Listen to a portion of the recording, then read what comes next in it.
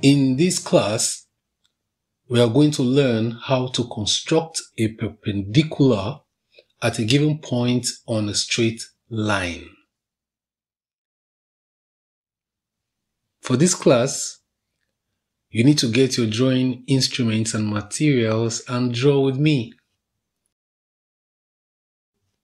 To be able to construct a perpendicular at a given point on a straight line, you need to follow these simple steps. Step 1.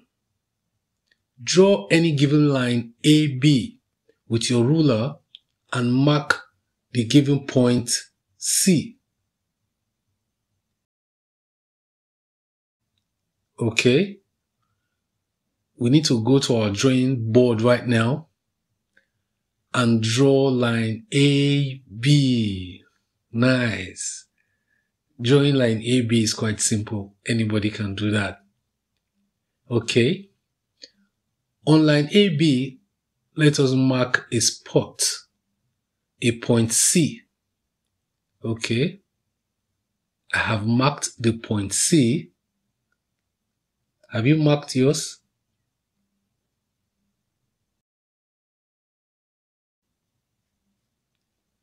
Step 2. With C as center and any convenient radius, draw the semicircle DE. Back to the board. Now we are going to make use of our pair of compasses.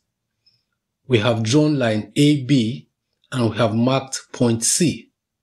So with point C, as center, let us draw the semicircle DE. So, with the compass, let us draw that semicircle DE. Beautiful.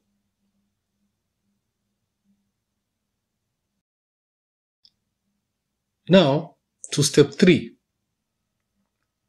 With point D and point E, as centers and with any convenient radius, draw arcs to intersect at F. Now back to the board, we take our pair of compasses and place the compass point at point D and cut an arc. Then we move the compass point to point E and cut an arc with the same radius.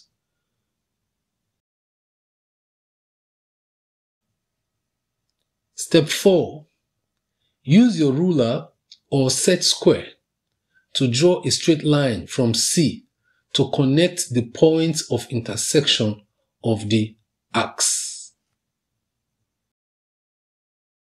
Okay, that is going to be easy. We have drawn both arcs.